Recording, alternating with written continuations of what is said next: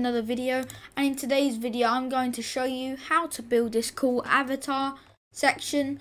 Keep in mind that the shirts do not work. It's only the free ones.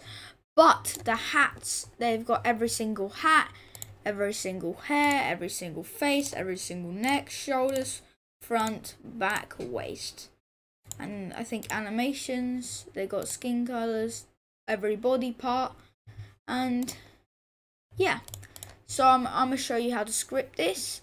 And yeah, hope you like it. Also, keep in mind that actually, I'm, I'm not going to show you how to script this. I'm just going to show you how to arrange it and stuff. I did not make this. I think a, a guy made it. Like another guy. So I'm going to credit him in the video. And in that guy's video, he's going to credit someone else. Because he just edited and improved it. So, also another warning: um, when you put on a hat, you you your hip height will go a bit lower, but don't worry. If you reset, that should be gone.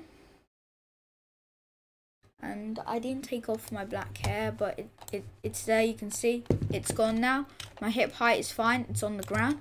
So yeah, I'm gonna show you how to make this. Let's get into the tutorial.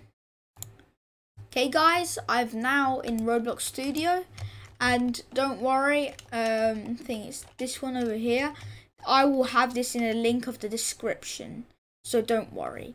So I'm to go over here, I'm to go um, arrow and this is also um, how to do it, but I'm going to show you what will happen in this video.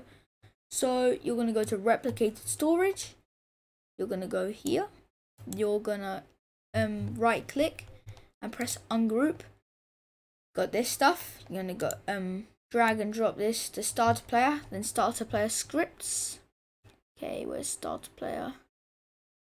Um, I can't find it. Uh, what just happened? Um, I might have to be like this. So start a player. There we go, and then start a player scripts then I'm going to ungroup. And then I'm going to put this in star GUI and then ungroup. I'm going to put this in server script service. Then ungroup. Another thing I also recommend doing um, is trying to click the button so just search up frame. Um, main. Oh no you're gonna find the frame that um